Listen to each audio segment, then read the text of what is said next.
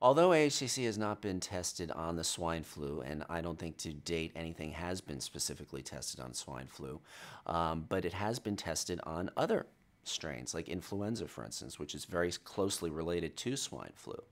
And it's also been tested on West Nile virus, um, uh, West Nile virus, uh, hospital borne infections like MRSA, and avian flu.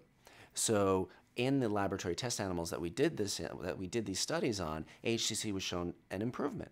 So I think one can therefore then make the leap when you look at the fact that AHCC does increase the natural killer cells, the dendritic cells, the cytokines, all sorts of things that AHCC has been shown to do, I think it's fairly reasonable to say that AHCC is something one should be taking when you're worried about a flu or even a flu like swine flu. While everyone's now concerned about swine flu, we have to really keep in mind that there've only been a few cases, a few reported cases of death, and by few, maybe 250, something like that as of now. Uh, whereas during the flu season, 36,000 Americans die each year from that.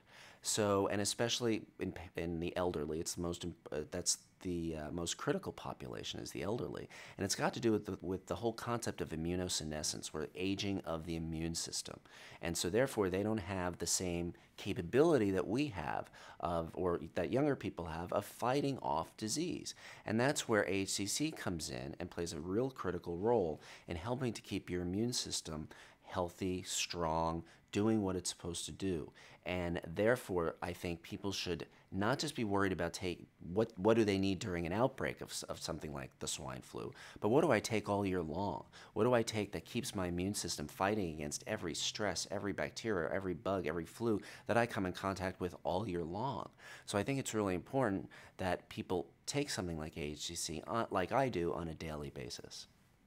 A lot of my patients ask me, do I have a healthy immune system? Do I need to be taking something for immune system support? And I tell every one of them, yes.